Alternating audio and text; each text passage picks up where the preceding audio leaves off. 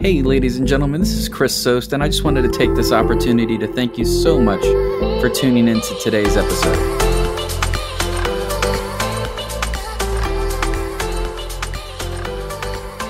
Hey, everybody, thanks for tuning in to another episode of the Gig Economy Lounge. Today's episode is going to be all about the ride share ping, the request, the thing that sounds like money. Now, over the past four and a half years that I've been doing rideshare, going on five, there's been quite the evolution in in the ride request itself. Now, I will say that both companies are are drastically different when it comes to their algorithms and their technology. And Uber, to a certain extent, has shed some light on their algorithm, but only just little, you know, bits and pieces here and there. And they've actually published it in on their blog on their website. So it's not even like they keep it a secret necessarily. Now, any information that we get from, let's just say, Uber support, I don't trust simply because those people don't actually work for Uber. They have no idea how Uber works, nor, you know, should they because they are obviously nowhere near where Uber's technology is is being deployed and tested and everything else.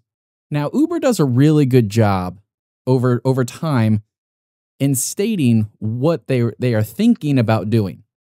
So, Uber's CEO about 8 months ago came out and said that they are thinking about possibly giving riders the ability to request higher rated drivers at a premium. But they've they've never indicated that they've ever put that into place so anytime I read on social media somewhere where somebody says that people with higher ratings or higher acceptance rates, you know, get get you know more requests or get you know uh, get priority requests, I just don't see that in the data. And the reason why I say that is because I have a terrible acceptance rate. Um, some some may say that I have a terrible rating. I am a 4.90 um, my acceptance rate currently to date is 55%. However, it normally hovers between 38% and 42%. That seems to be my sweet spot on the acceptance rate. And I can tell you this much right now I have no problem getting requests, nor do I have any shortage of requests coming in. More importantly, and, and this really speaks to it because I would actually say that it, it is proximity based. Now, they do and they have enlightened us to the fact that they send out what they call silent pings. So AI is learning what we're doing. So they may send out the same exact request to two to three drivers, but in a delayed fashion. And the only reason why they're they're doing that is to simply cut down on the travel time because certain drivers have certain uh, habits and they don't quite know everything that we're doing. So if you've been sitting, uh, if you're sitting still, for instance, and you've been sitting still for a long period of time, the Uber app doesn't know where you are. You could be inside eating at a restaurant. You could be in the restroom at a convenience store. Heck, you could be at home sleeping. It doesn't know that. The only thing that it does know is that you haven't moved in X amount of time. So, in certain instances, it may turn around and send out multiple requests for the same passenger based on these various situational issues. But overall, it is proximity based. I have yet to see any actual proof uh, to the contrary, like actual proof. Now, when when I was driving full full time, you know, we used to test theories, and I would grab five or six rideshare drivers, put them in the same exact area, and at that point in time, I think I had like a 4.81 uh, star rating, and everybody else was far better 4.96, 4.92, blah, blah, blah, blah, blah. You know, the list goes on. Everybody was better than me. But yet I was still able to get the request that was getting sent out because I was, in fact, the closest driver. Now, I will say that, you know, Uber has turned around and has also enlightened us to, that they are uh, they favor moving drivers. And this goes back to they don't know what you're doing if you're sitting still. They don't know whether you fell asleep. I already went through all the, the possibilities. However, when they see a car, when there is one car that is headed in the direction of the pickup request or the potential pickup request, and there is a driver just in front of it that is parked, depending on the situation, the request may actually go to the driver that's moving, not the one that's stationary. And that's just because the algorithm figures that the closest driver in terms of getting there, in terms of time, is the driver that's moving. Now, they've also hinted on in their in their writings or in their blogging if you will, that they take into account traffic situations. So, let's just say you are closer technically to the pickup, but you are driving in the opposite direction of the pickup. And there is a driver that's technically driving uh, a little bit further away from you, but driving in the direction of the pickup outside of just anomalies in the algorithms, it will go to the driver who is heading towards the passenger. So I, I know I've noticed a drastic decrease. I mean, I very rarely get any pickup requests that are actually behind me.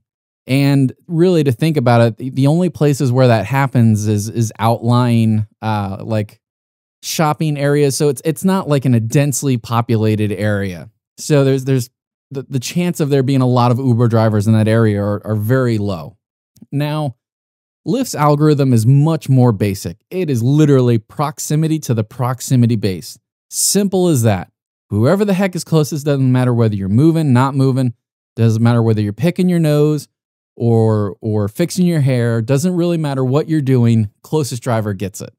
And I've, I've had the privilege of, of being able to test these theories over the years because I've always believed in building a book of clientele. Now, my clients either text me um, or text me, or even, I, I, got a few that even send me Facebook messages. Uh, a few of them call me. But week in and week out, I'm giving them rides. And we always use either the Uber, the Lyft app, whichever one they want to use. And every single time without fail, they, you know, they request me right as I get there, you know, right to their house, and I get the request every single time. It's it's not even it's not even difficult to do so. Now, I will say that these folks live out in the suburbs and we're heading to the airport. There will be slightly bigger challenges, if you will, when you are in highly dense areas. So if you are in downtown, um, any type of any type of place where where there's tall buildings and I, have I've started to to really I, I, like to reverse engineer why things happen. That's what I really want to do, and so I, I like to get out all the other variables outside the fact that you know there's there's the conspiracy that Uber and Lyft are out to to get drivers, and they're out to fuck drivers over. So there's two really interesting variables that nobody takes into account when talking about the ping and who gets it and who is actually considered the closest. And that is cell phone towers, your cell phone carrier. If you are pinging off of a tower that is further away than you know the passenger or heck if it's in the polar opposite direction of where the passenger is is or the request is coming from chances are the GPS is is actually showing you closer to that tower rather than where you're actually at. And this is gonna this is gonna weigh heavily on or depend heavily on who your carrier is. So obviously, I, I truly believe, and I don't even have Verizon, um, but I do believe that overall they they provide a, a better coverage map. I believe they have more towers, which creates a, a greater accuracy for GPS. I use T-Mobile. I hear AT&T is good. Um, Sprint, God bless you guys. I mean, I, th- I think if you're in metropolitan areas, it's great, but like once you get outside the city, it's uh, it's it's slim pickings on on on on signals. So this this is one of the things that a lot of people overlook when they're trying to to figure out, you know, who is considered quote unquote the closest available driver to a ride request. And it's something that you can't really measure because you don't know which tower you're pinging off of. It's not like your phone says, hey, I'm pinging off of a tower 1.2 miles southwest of you. You just don't know that. So, this is one of those underlying variables that I believe has a great effect on, on who receives the request because it's based off of that cell phone ping or that cell phone tower ping. That's what dictates where you're actually at on the Uber map or on the Lyft map. So I, I've read a lot on social media about, you know, there's drivers that are that are closer. Um, and I still got the request. I would say that there's there's a multitude of other reasons why you would get the request over them. Number one, first and foremost, there's a lot of drivers out there like me who turn down requests. I turn down requests for all kinds of reasons. Who knows? I might I'm you know, I might want to stop. I might want to send a text. I might need to make a phone call. Um uh it may be coming from an, an area that is notorious for short rides and I just don't feel like dealing with it. It's possible. On top of that, then you have the the cell phone carrier issue, uh, the tower pinging issue, and uh, you know there's there's a whole other uh, there is a wild card. Gonna talk about it right now, which is the destination filters. Oh, that's another variable. Guess what? If I'm sitting there, right, I could be sitting right next to a passenger within one minute, and you could be 10 minutes away, and we're the only two drivers on the map. If I'm not headed in their direction, especially on Uber, you're going to get the request, not me. And I'm technically quote unquote closer. So there's a ton of variables that go into who is the closest available driver. So I don't really want to make this episode long, but I did want to address this, especially for new drivers. Uber and, and Uber, maybe not Lyft, but Uber really, really is is driving efficiency when it comes to their dispatch system. So they favor drivers that are in motion. Um, they favor you know uh, better quality um, carrier systems or you know phone carriers, uh, the ones with the most towers in a given area. I do not know how to research that for your given area, but I'm sure there's a way to figure out how many towers a company has in your city so that way you can figure out which company may be best to have. Um, obviously, if you're looking for more on demand requests, do not use your destination filters because that will greatly reduce um, your your on demand requests.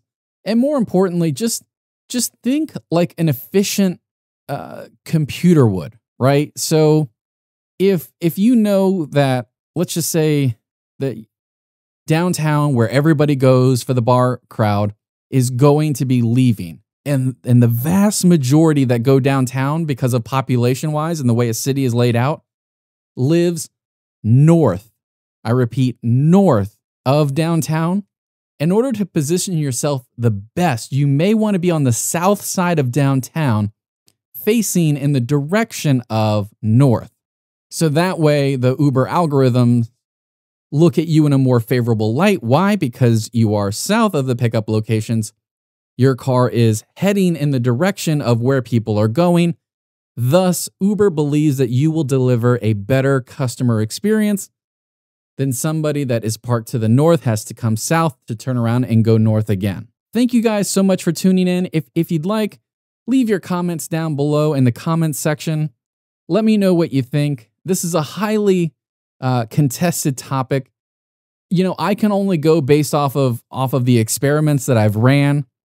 Um, I I don't like I said I do not listen to Uber support because they don't work anywhere near you know Uber headquarters or work anywhere near or even have remote access to the computer engineers at Uber who dictate how the algorithm works. So until Uber decides to shed some more light in their blog on how AI is working to maximize or make more efficient their dispatch you know system this is going to remain a topic of conversation that is based off of opinions and primarily opinions only outside of the little tidbits of information that we've been given. So thank you again so much for tuning in and I will talk to you guys later.